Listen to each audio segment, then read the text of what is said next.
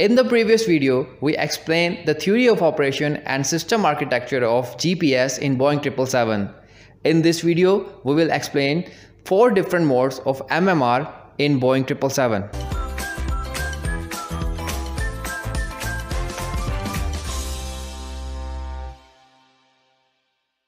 The Boeing 777 multi-mode receiver can operate in the four modes. These are acquisition mode, navigation mode, altitude aided mode and aided mode. In the acquisition mode, the MMR looks for and logs onto the satellite signals. The MMR must find at least 4 satellites before it starts to calculate GPS data.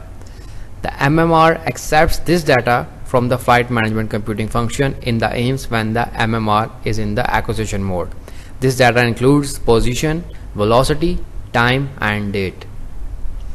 When the AIMS data is available, MMR takes only 75 seconds to acquire satellite signals. In case the AIMS data is unavailable, then MMR takes approximately 4 to 10 minutes to acquire satellite signals. The second mode is the navigation mode. The MMR enters the navigation mode after it acquires and locks on to at least 4 satellites. When the MMR is in the navigation mode, it computes GPS data. The MMR output goes NCD or no computed data when the accuracy is not within 16 nautical miles of the actual position. Third mode is the altitude aided mode. With 4 satellites available, the MMR stores the difference between the ADIRU inertial altitude and the GPS altitude.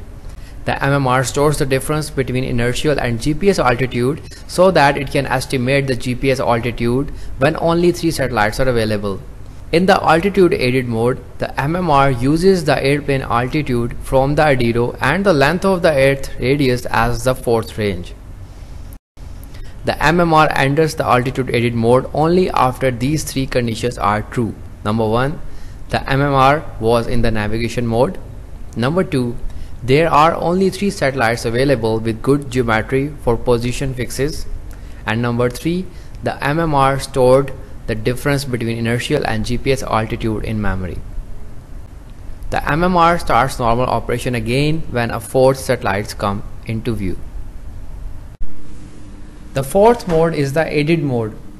The MMR enters the aided mode during short periods of less than 30 seconds of bad satellite coverage an example of a bad satellite coverage is a poor satellite geometry where at least 4 satellites are available but they are not spread out far enough so that the MMR can make an accurate position fix.